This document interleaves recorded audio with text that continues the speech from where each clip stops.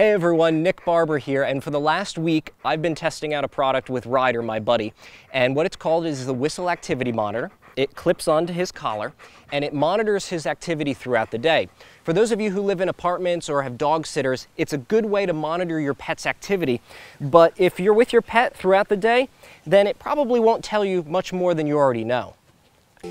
The whistle is a small, lightweight device that securely clips onto your dog's collar. You don't have to worry about it going anywhere, even with the most active of pets.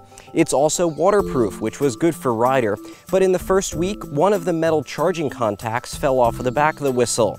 That didn't seem to impact its ability to charge, which was still very quick and under an hour.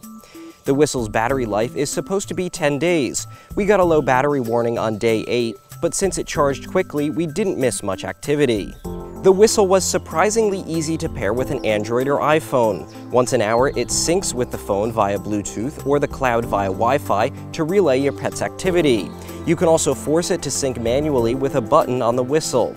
You can pair it with multiple phones or Wi-Fi networks so that it can sync even when your pet isn't at home. On your smartphone, you can view activity and rest data down to the minute.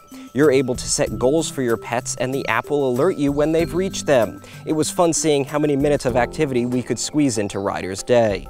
Overall, I was impressed with the whistle's ease of setup, its quick charging battery, and the accuracy of the tracking. I do have concerns about the durability of the device, and it won't prove useful for everyone, especially if you and your dog are inseparable. It costs $130 and is available now. There's also the Whistle GPS, which can report the real-time location of your pet, and it's available for pre-order. In Chatham, Massachusetts, Nick Barber, IDG News Service.